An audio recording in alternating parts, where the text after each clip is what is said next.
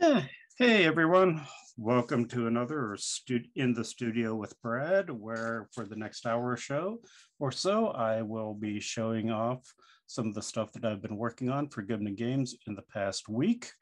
I'll be showing what the end results of last week's uh, session with the scratch board, giving you some sneak peeks of artwork, and then we'll be diving right into the my latest picture, which is for Crypt of the Devil Lich. So actually, let's start with the scratch board. Now, hold on, I've got to sort through this pile of stuff. Do, do, do, do, do, do.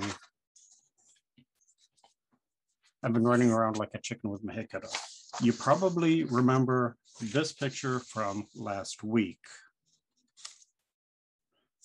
after much tor- torment and a whole lot of pro white and such, I ended up with this. Now, just because, hey, you know, things are always a, a piece of torment, you see all these little squares, and you probably noticed these in the sketch. Once I was all done, I had the fun job of going in and typesetting this thing also. So this is what it will look like. And this is for Crypt of the Devil Lich. It's one of the handouts. Uh, I guess there is a key that you have to solve here. Good luck. Uh, the guy that gave me the art, the art order didn't even bother saying it. It's like, here, these are the letters you need to put in if you really want to know. And I'm like, all it's going to do is confuse me. So there you go. Now, what else have I been working on the past week? As you all know, I've been working on artwork for Dungeon Denizens. And here's a couple of the pieces. This is actually just a printout because I'm not exactly sure where in the studio the original of this is. But this is a Dire Sea Drake. Let me see. See if I can get a little bit. There we go. How's that look, guys?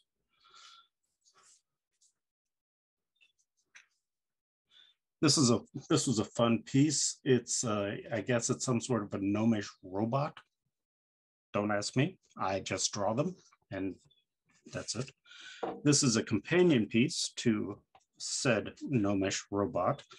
This one is still working in progress. I hope to get back onto this tonight.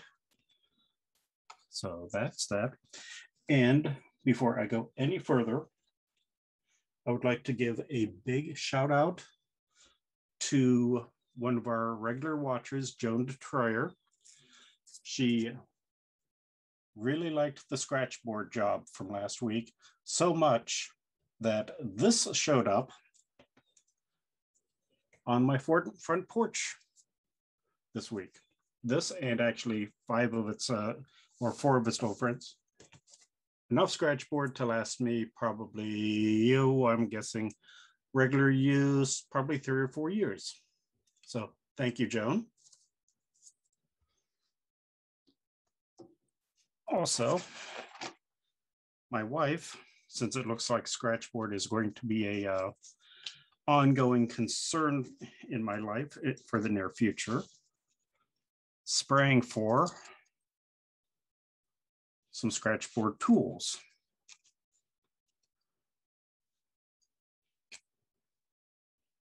No, this is not something, uh, this is not a murder weapon, though I imagine if you used it right, it could be, you know, but you know,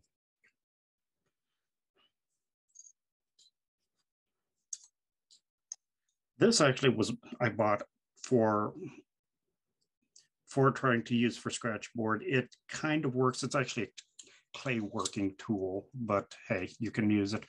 And I found out something very funny. I was, you recall last week, I was using an X-Acto knife. Well, I watched a cool tutorial. It's like, I've got to learn how to do Scratchboard properly now. So watch jumped over on YouTube and I'm watching this guy and he's talking about this is like you know, Scratchboard for beginners, and he's talking about all these different tools that you can buy. And then guess what tool he ended up using to do most of the picture. So I guess I was at least on the right, right track that way.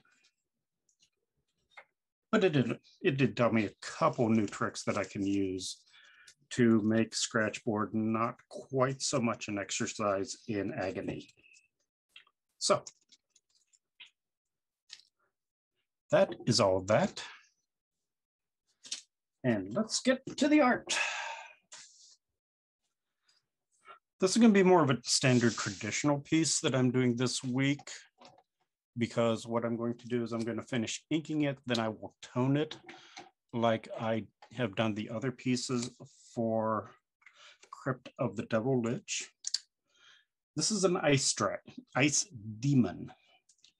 It's kind of a leftover from, God, when did the first ice demons show up? Like first edition, I want to say. And I'm actually kind of glad because they've changed quite a bit since first edition.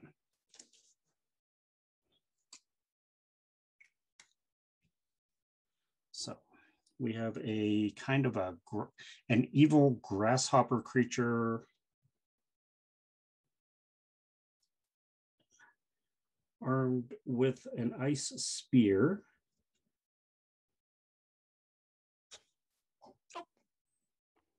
Sorry, don't you like this view? Wasn't that, wasn't that a lovely view of my bald spot, folks?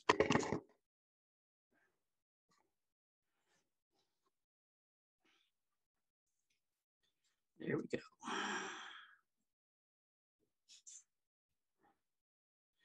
You know, what's really bad is, uh, you know, you, I can go into a store now and you know how almost every store has overhead you know, security cameras. Yeah, I just kind of like look up and see, oh, look, who's the bald guy in the hood? Oh, never mind, that's me. Oh, well. Maybe I'll be like uh, the, late, great Willard Scott, who basically just had a collection of different colors of uh, toupees and he would just like wear them or not wear them or you know. Basically depended on his mood. If you you any of you you rem- remember willard scott he used to do the weather for i believe good morning america. And yeah he basically just he didn't really even pretend that he wasn't actually bald he just leaned right into it it's like yeah yeah i was running late this morning so i'm bald There we go. Hold on just a second here, folks.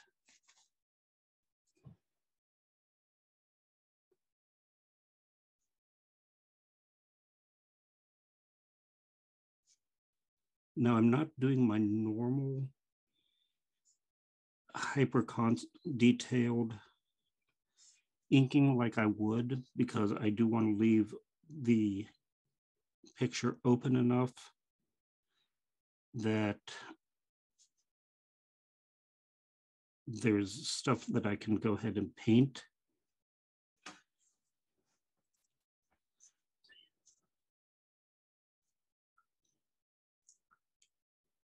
There we go.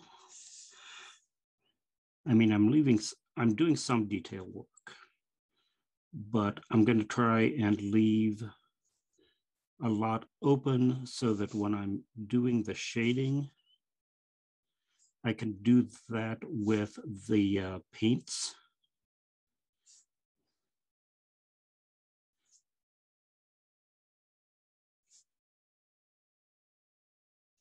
There we go.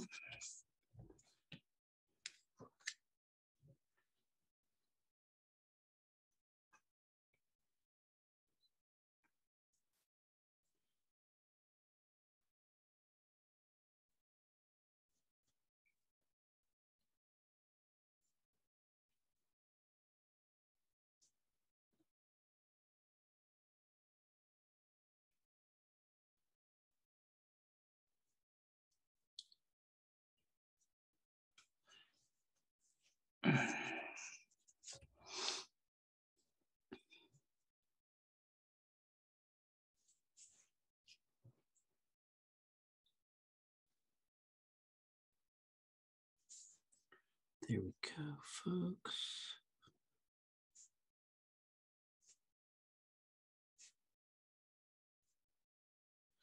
And some nice detail work on the tail.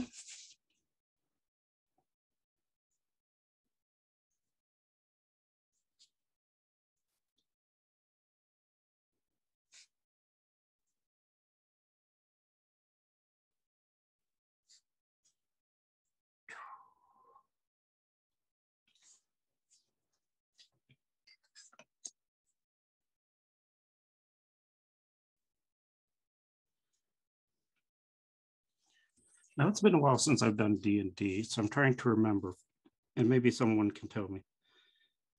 Have ice demons always looked like uh, evil grasshoppers, or am I getting mix- them mixed up with some of the other demons?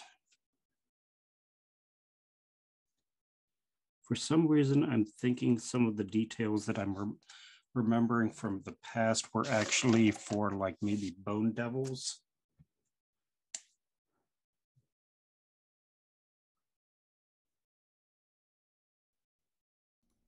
I know when they started uh, going from second to third and further on a, up the line additions, some of the monsters got significant redesigns, and I wasn't sure whether maybe the Ice Devil wasn't one of those.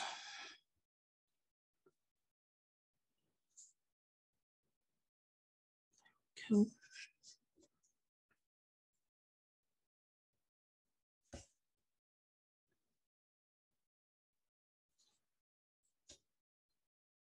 So I'm not quite sure about whether or not, you know, they all kind of looked like demons, but we do have a question from Miss Joan herself uh, asking Okay. what kind of paint do you use? Ah, that I can answer rather easily. And I actually have two answers for that. Some of the, anyone who survived uh, high school artwork will recognize this. Your good old prangs. You know. But I also have these the Dr. P.H. Martin's uh, rate, con, gradient concentrated watercolors. These things are insane. They are so concentrated that, like this container, which I've used a lot of comparatively, is still basically about 99% full. Um, a company I worked at back in the 1990s, uh, Game Designers Workshop, had a full set of Professor Martin's watercolors that they had had around the offices for like seven years before I had come on the seat. I came, I started working there. And it was still basically, most of the bottles were still essentially full. Yeah, I mean, you can, you literally use like one, maybe two drops at a time. I gotta be careful here. So your basic eyedropper, yeah. One or two drops of this and you will have enough paint, you'll have enough pigment to do an entire painting. They are very expensive, but in all real, realism, you buy a good set of Professor Martin's and you'll probably never have to buy them again. Just got them for me earlier this year as an early, uh, you know, birthday present.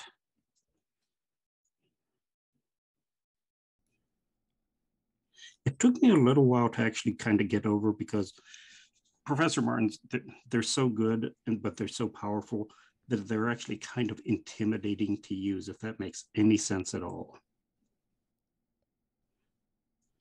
Yes, I know you should not be able to be intimidated by a bottle of paint, but trust me, I was. but I am starting to use them. And like I said, um,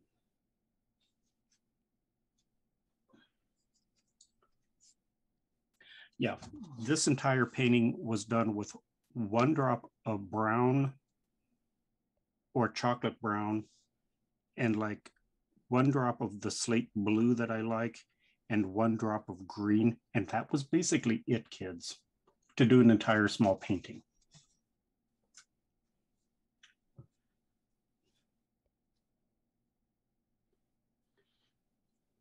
If I remember correctly, before computers kind of took over the entirety of the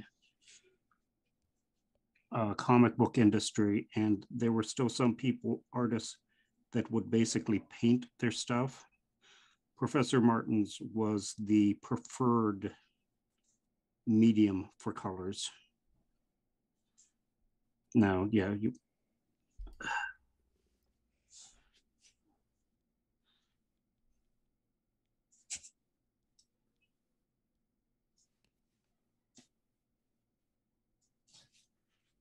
go.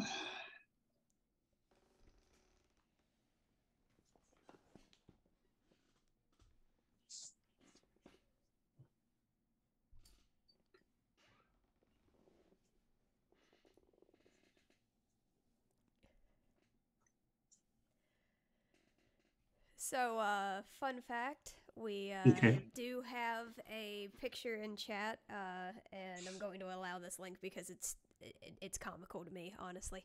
Um, But Okay. it's what the ice demon in AD&D looked like, and it was basically the same deal. Um, it was what you're drawing, except for a fat belly, and um, just real quick, I'm going to show this off to the chat. Okay. Uh, you go, guys. It's a little goofy, but you see what it means.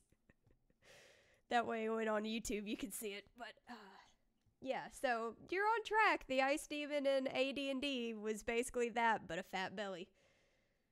Okay, so this is the same same exact demon, only he's doing a keto diet, I guess.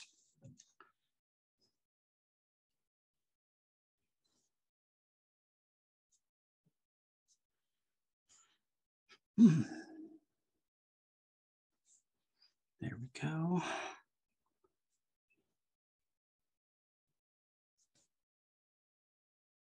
That's kind of funny.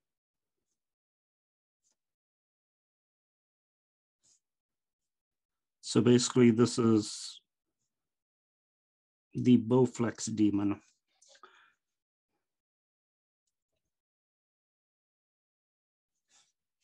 Cow.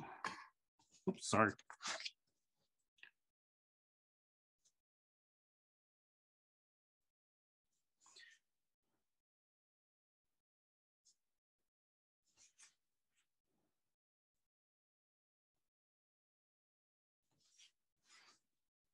True story. Um, before I basically started working almost mostly for Goodman Games. Um, of course, like every other gaming artist, I wanted to get work from TSR.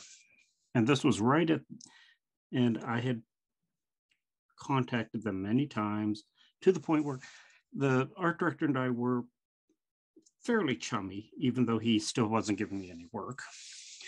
But um, finally, one day, he calls me up, and this was actually after I had essentially given up on trying to get them. So I hadn't heard from them in quite a while. I figured if they didn't want to give me work, you know, hey, that's life. You know, I've got other clients. So, but he actually calls me at my day job.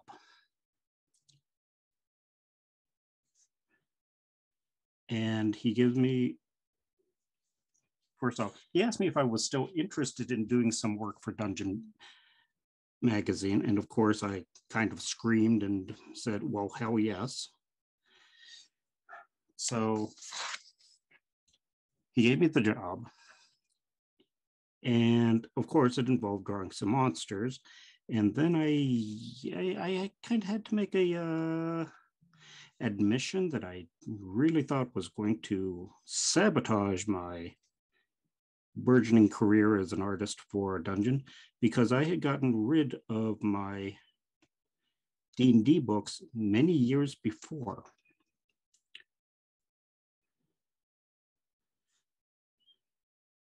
As I think I've mentioned, I'm more of a Call of Cthulhu Shadowrun kind of guy. And when I had moved out to Illinois to work at Game Designers Workshop, I had to get rid of some stuff. So I had just kind of like, you know what? If anybody, I have some friends who can get get some use out of this. So here, here's my DMG, etc., etc. You know. So I had the rather awkward conversation, or I thought it was going to be really awkward, of him telling me I have to draw a method and, and uh, this or that and the other thing. And I'm like, uh, Larry, I, I don't know how to tell you this. I have no clue what you're talking about. And happily, he just laughed and informed me that they were not interested in hiring me or giving me this commission based on my encyclopedic knowledge of Dungeons and Dragons. They wanted me for my talent. And then he just asked me for my fax number. And, you know, said, I'll send you the uh, reference material over shortly. So, so I breathed a sigh of relief. And uh, that was pretty much the end of the conversation. And I went back to work, and about 20 minutes later, my boss comes over to my desk with this sheath of uh, papers from the fax machine and like, I think these are for you, Brad. Oops, sorry, Deb. I probably should have uh, men mentioned to her that uh, someone was going to be faxing me pictures of monsters. Oh, well, such is life. But yeah. this was many years ago before the internet.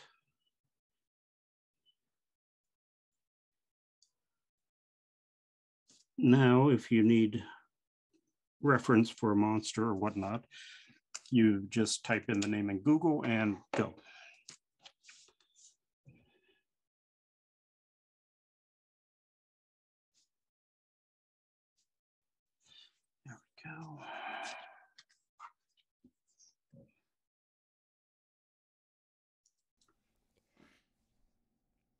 Yeah, believe it or not, there was a time when if you needed research material for a game, you basically either had to contact the company or go out and buy the information yourself. Happily, most of the companies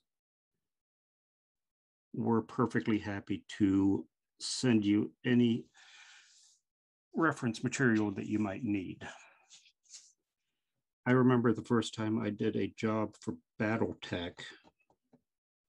And mind you, this was kind of a tryout job. They wanted to see if if I had what it took to do Battletech.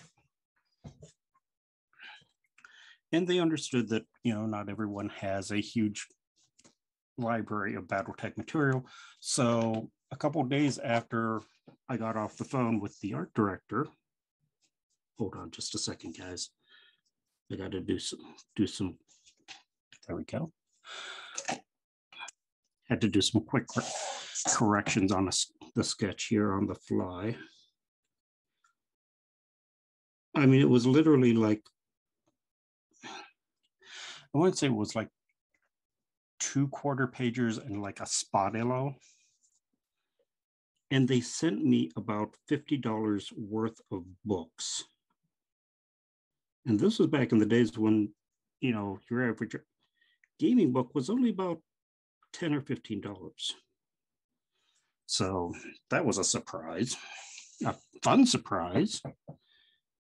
But it did give me all the information I needed to get the job done with ease. There we go.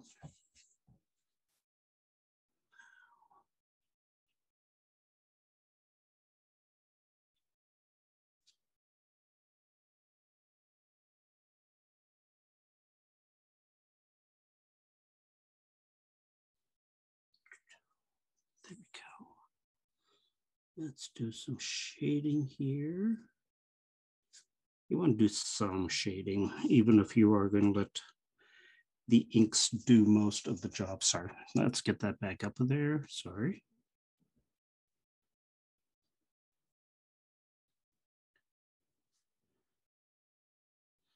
You can tell I'm going to have fun, fun with some of the uh, highlights for this piece.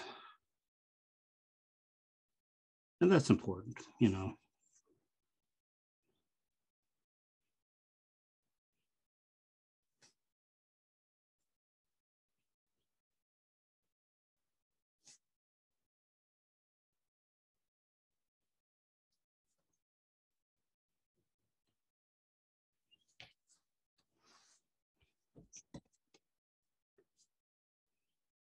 Plus, after all, he's a demon, so we got to kind of make him look sinister.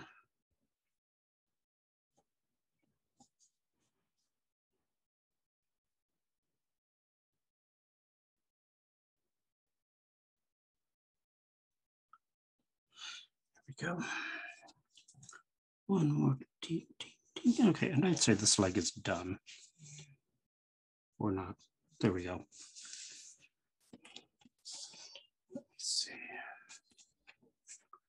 I misplaced them over the past couple days. Um, I actually, speaking of Google, I actually drew this according to a photograph of a grasshopper's head that I uh, downloaded.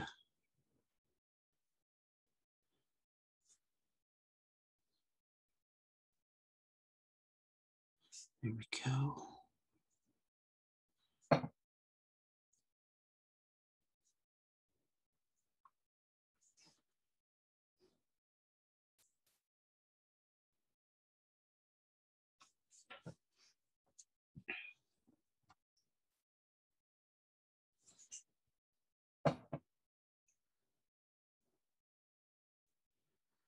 Now, from what I could see of the photo reference that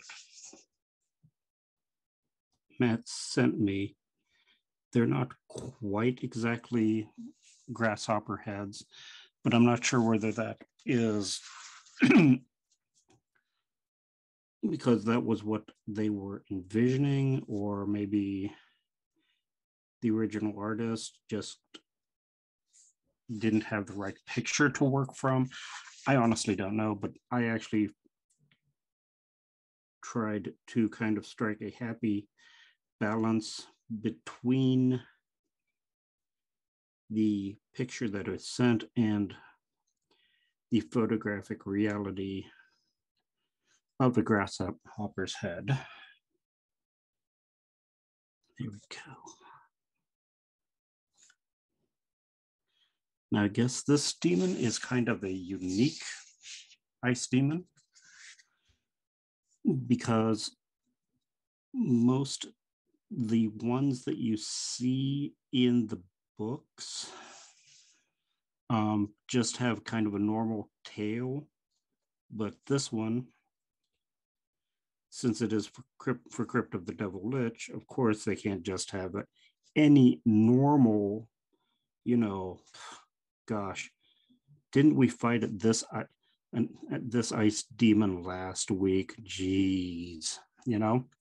So instead of a normal tail, it has a scythe at the end of its tail. You know, better for cut, cutting your player characters into tiny pieces. I mean, isn't that nice of them to include little details like that?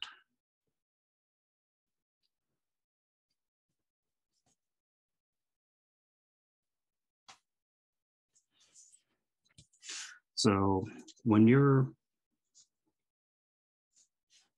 running with your group through Crypt of the Devil Lich and your character gets reduced to like negative 30 hit points by one swipe of this ice demon's tail, you can say, hey, I remember seeing this thing being drawn,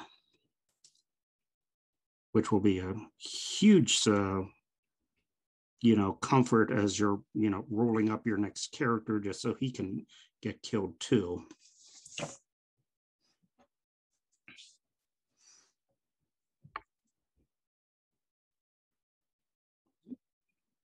Sorry.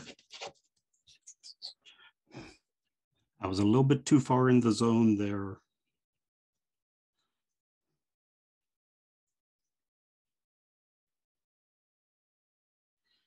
Anyone that lives with an artist or a writer or a musician can tell you that artists, pretty much any creative types like that, you know, we can get so far into the creative process and that we, we're not thinking about anything else.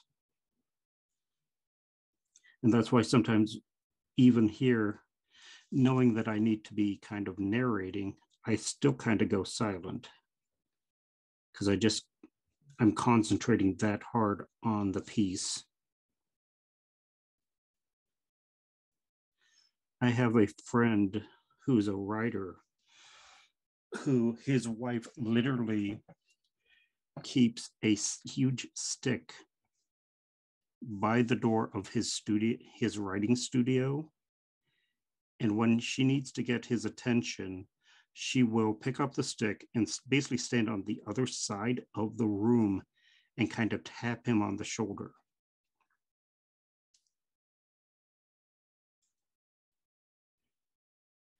It doesn't help that this guy is a uh, long-term martial arts enthusiast and you know surprising him like that could have really bad effects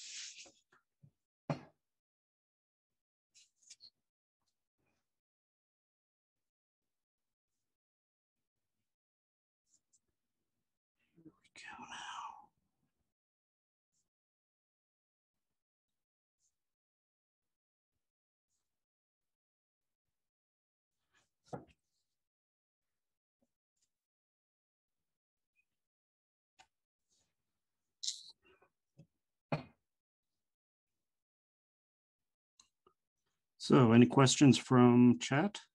Anyone?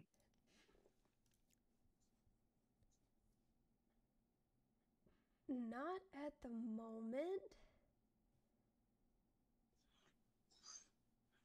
Okay. You've got some nice comments though. Uh, Grape Ape Texas says that you make uh, drawing look so easy. Who said that? Uh, Grape Ape from Texas, aka Grape Ape, Grape Ape Texas.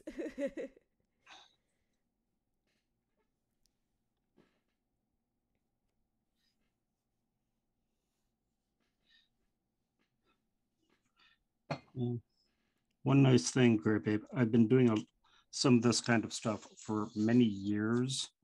So a lot of it has become second nature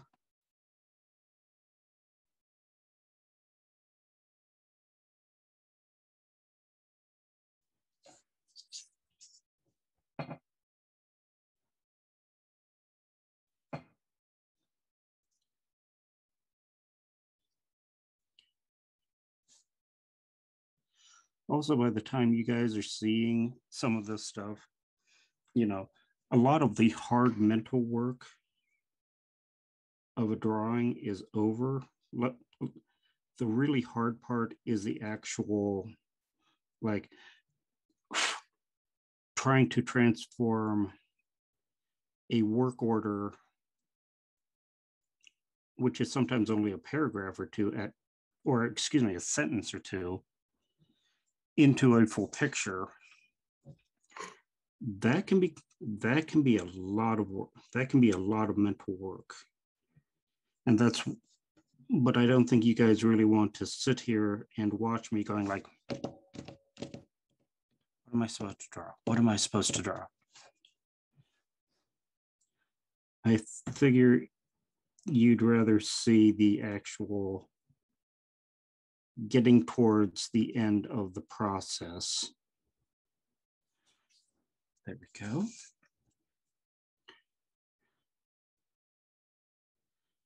What I need to do, really think you guys might get a kick out of is before the end of the season, try and get one of these pictures like this done to the inked stage.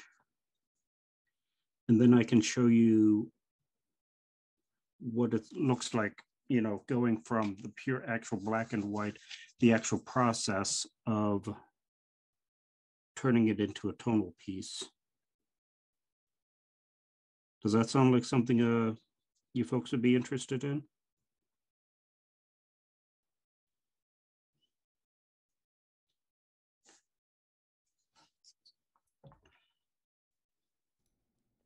They are saying yes. Okay, good. I will try to remember that. Uh, we also have a uh, question from Sergeant Nasty 11B20 who uh, asked, What was the work order sentence for this? Oh, caramba. Um, I think it basically just said an ice deep. It gave me the dimensions, which are the original, the printed dimensions would be about 3.75 by 4.75, and I usually do it about a quarter to halfway up larger. I'm seeing if I can find the work order real fast. Of course I can't. That'd be far too simple, wouldn't it? Wait a moment, wait a moment. Ah, here we go. Oh, speaking of the reference material,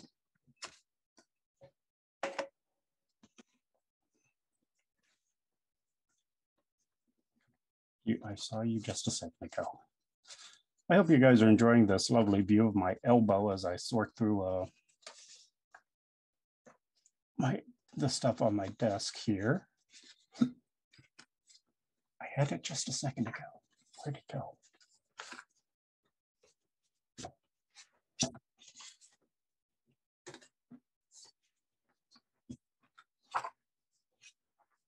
Here we go. Okay, so I guess this is the actual official Ice Demon from fifth edition.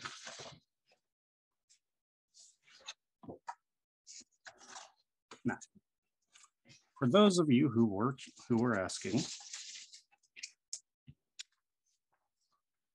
I'll get you more details tomorrow, but here are the basics for Monday night's drawing. It turns out we need a few more monsters drawn for Crypt of the Devil Lich, blah, blah, blah.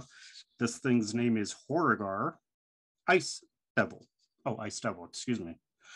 Quarter pager, black and white, 3.75 wide by 4.712. This blah, blah, blah, blah, has an ice spear and a modified tail. Oops, I forgot about that. Its scythe-like tail is composed of hardened ice crystals that inflict slashing damage and wounds that continue to bleed until tended with magical healing or application of a healer's kit. So I guess I, they did mention that it was a scythe tail and I just kind of missed it in the initial sketch.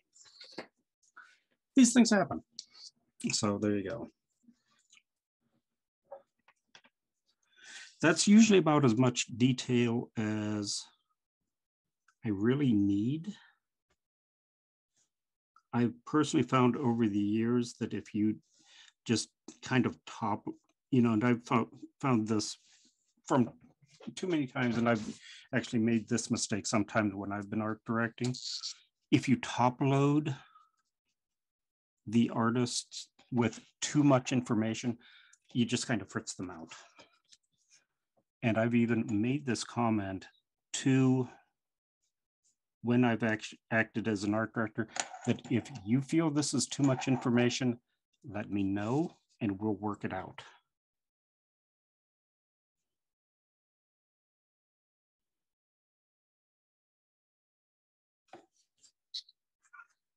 There we go.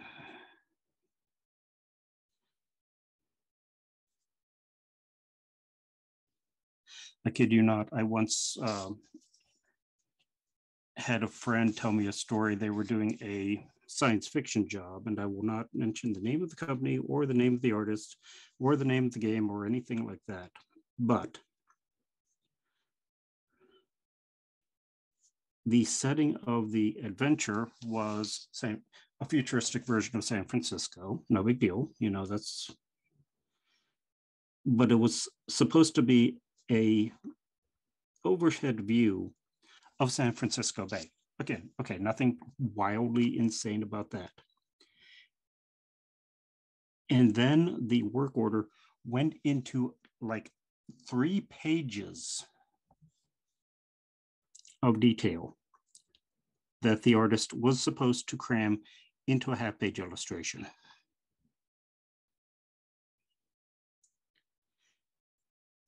Like there was any way that you were going to be able to get that much information into a half page illustration drawing.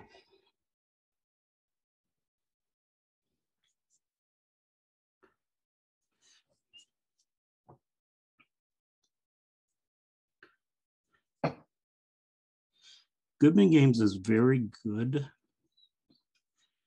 about finding the right balance of the information you need to do the illustration, but still leaving lots of room for the artists to breathe and use their own imagination. And I personally think that's a very good thing to do after all, you know, you're hiring the artists to use their imagination. If you try, if you're hampering them from using their imagination, you're hampering them from using the skills that you're hiring them for. And I would go that say that about any company.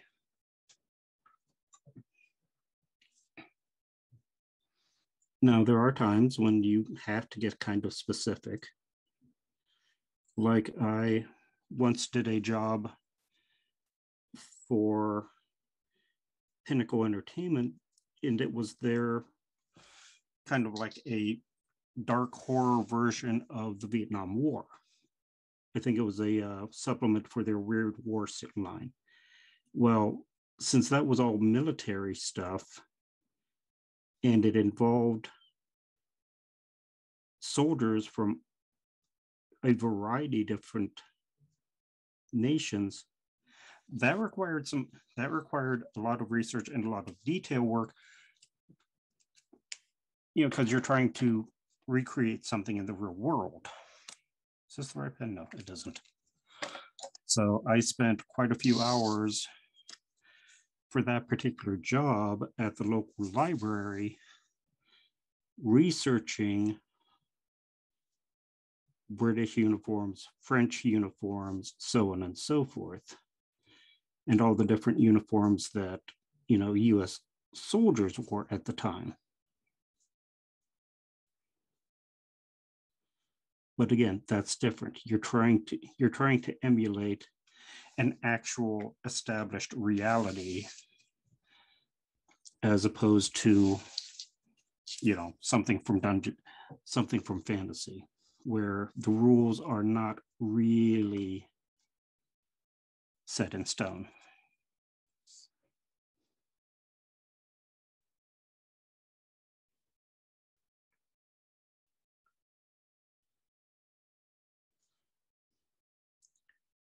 And the more pre-established the universe that you're working for also you kind of have to do it get a little bit more um, mentioning Battletech, they have a lot of very pre-established imagery that you have to, you can't just draw a big robot and say, well, this is my, this is my mech. You know, you kind of have to, you know, you have to, you have to play their, you have to play in their sandbox. And I don't mind when the art director reminds you of that kind of stuff.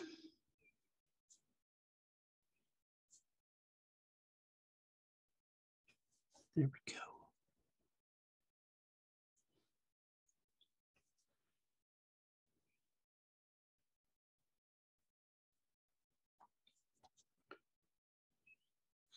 And in a Goodman, concerning Goodman Games, when I was working on Age of Cthulhu, that required a fair amount of research and a little bit more art directing too.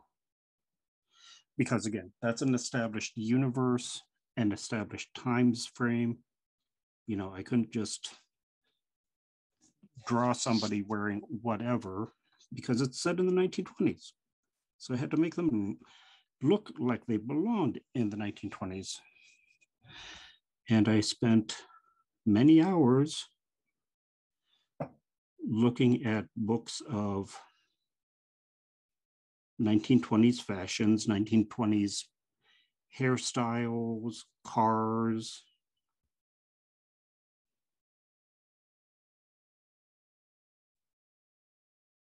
There we go. So we do have another question from Popperknot. Uh, what are Okay. what is the uh, blah, blah, blah, blah, words? What type of monster is the most fun to draw? personally for me, and I think we kind of went touched on this the other last week. I love doing zombies because you can just do so much with them. And because they have kind of a baseline of these were humans at one time, or at least humanoid creatures. How, how, how do I want to say this? you don't have to use as much imagination to start with the starting from the template. Everybody knows what a person looks like. So it frees you up to draw whatever you want to in terms of making them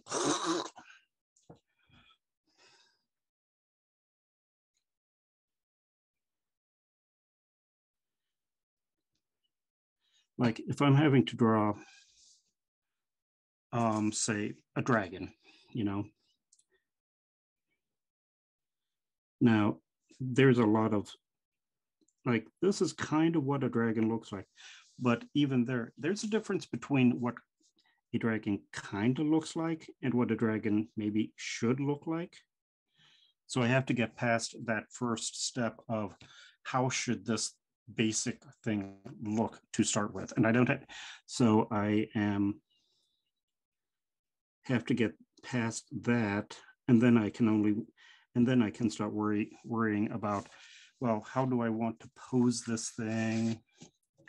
Whereas if it's a zombie or something along those lines, I already know how they're gonna, how they're gonna, what they're basically gonna look. So I can move straight to the pose and the body language, and of course, the funness of, hmm, what do we want to, how do we want to make this thing really look like a zombie?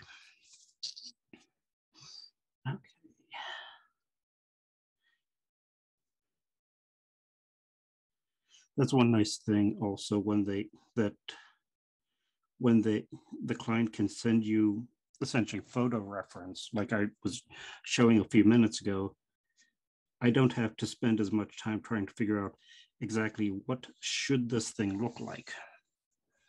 You know, I already had a baseline, you know, which is why I was able to move to this fairly active pose.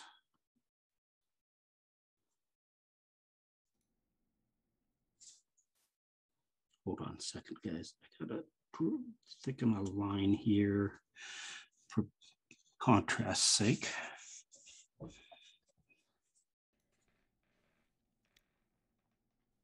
So Popperknot also asked, uh, so if you love drawing zombies, uh, does that include zombie animals or like a zombie alligator? Uh, I like to stick more or less to zombie humans. You know, I mean, alligators are pretty damn scary anyhow. You know, just stacking, uh, you know, making them zombies is just kind of overkill, if you ask me. I mean, and what difference is it going to make whether a zombie is an alligator is a zombie or not? They're going to try and eat you. you know? Whereas opposed to like a normal, if it's a human zombie, you don't normally think of people trying to eat people, even if it does sound like the beginnings of a uh, really, really strange uh, 1970s pop song. I just don't think there's quite the horror element with a zombie animal. If you notice, there are very few non non-comedic zombie movies out there featuring featuring animals. Nobody has come up with has done, at least that I am aware of, a you know zombie version of Jaws. I'm maybe someone has done one, but again, it just seems kind of like why even bother? You know, if it's a zombie shark, it's gonna eat you whether it's a zombie or not. So, you know.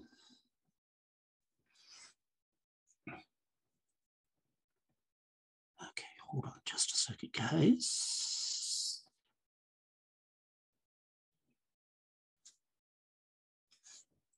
I want to check something real fast. Give me just a second here. That's what I thought. Okay, you are going to stay right here. And I'm going to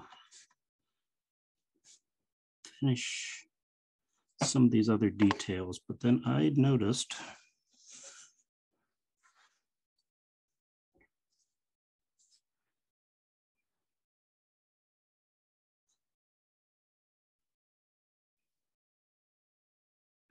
it's really fun when you uh, sometimes do jobs like this, especially if you you can't just Google for all the reference material.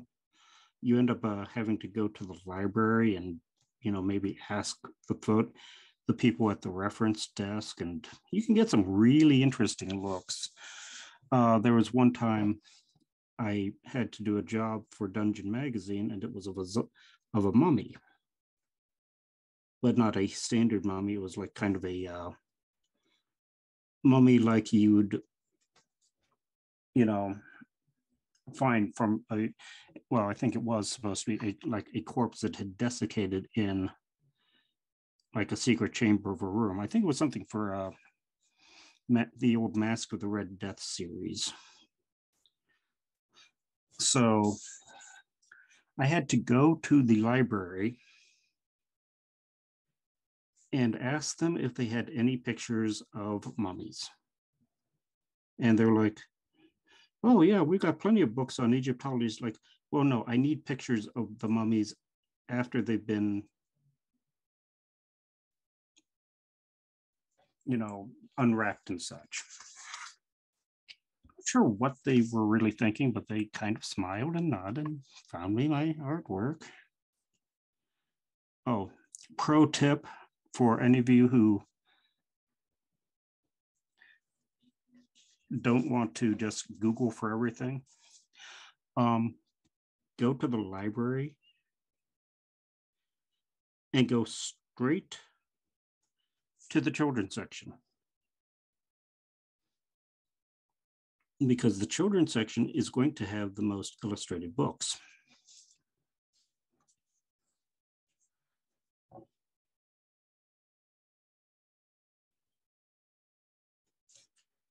yeah, once I started doing a real heavy duty lot of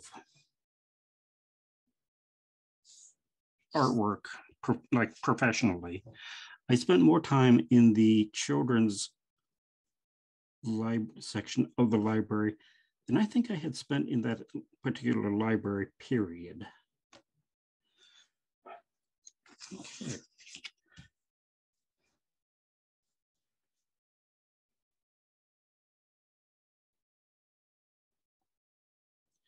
What was funny was I was also doing a lot of work for Atlas Games at the time for their now I believe defunct Ars Magica line, which is set in medieval Europe. And there was I found one book that was like medieval costuming and such. And I'm not going to say that this book doesn't get taken out very often, but uh, I kind of stuck a bookmark in the one book, in the book. And I forgot to take it out before I returned it when the job was done. Well, about six months later, I'm doing another job for Atlas Games. So of course I trundled off to the library and, you know, to get the get the book. And uh, my bookmark was still in there. I had been the only person in half a year that had taken this book out. So Jess is asking you to uh, tell everyone about the children's section of the library where you grew up. Oh yeah. Okay. So I grew up in a small town in rural eastern Ohio, place called Lisbon, Ohio. You can book it on the map. It's like the oldest town in Ohio, and that's unfortunately about the only thing that really makes it stand out. But they had the most amazing selection of books down in the children's section. And mind you, this is when I was, well, I was a child. But, uh, you know, I was always a bookworm. So I'm wandering around in the, there one day looking, you know, because I'd already read some of the Hardy Boys novels and some of the stuff like that. And I saw that they had a couple shelves of books on folklore. And I kind of knew what folklore was, but I thought I'd check it out. So it turns out that dear old Lepper Library had a collection of folklore books that would have uh, been very appropriate on the set of Buffy the Vampire Slayer. It had books on voodoo, it had books on full blown books on vampires, witches. I was probably only the only kid in fourth grade that read had ever read Beowulf.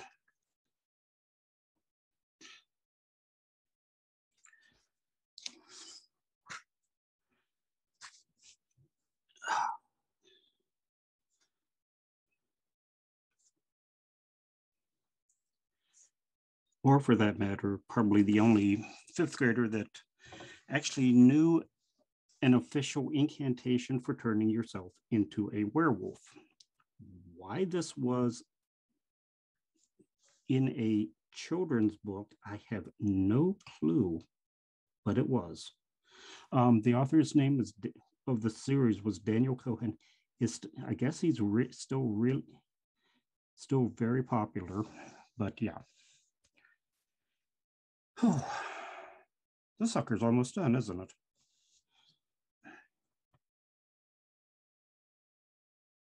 Okay, well, all right. Well, um, just so you folks know, I will not be on next week. My wife and I are taking a much needed vacation, but we will be back the week after that.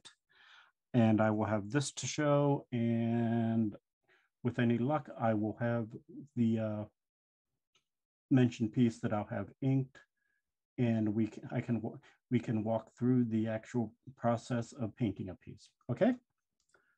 Have a great week. Happy Labor Day. And we are out.